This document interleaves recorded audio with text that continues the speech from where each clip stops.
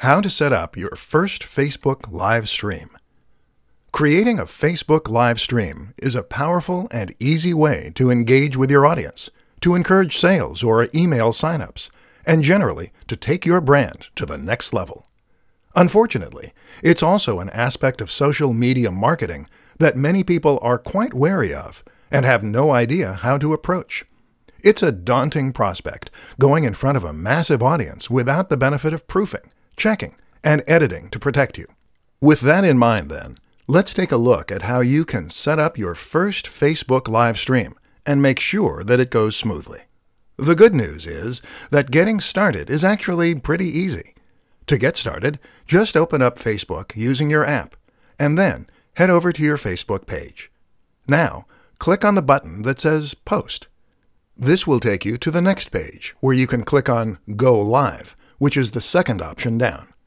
This will open up the live feed, and you'll be ready to start recording right away. Your visitors will get a notification saying that's what's happening, and people can then choose to get involved and comment if they so wish. That's how you set up your first Facebook live stream. Pretty easy. But how do you make sure it goes well? That's a little trickier.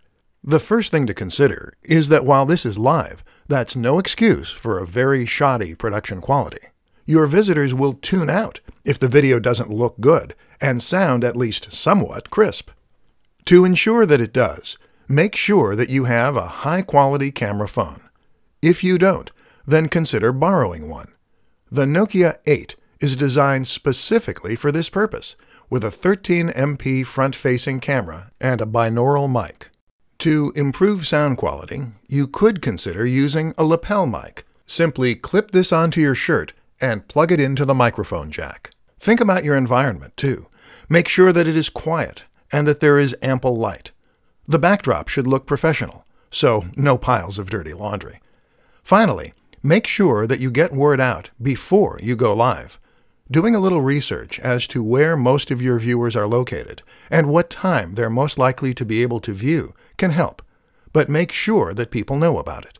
Post to your Facebook page and other social media accounts an hour beforehand.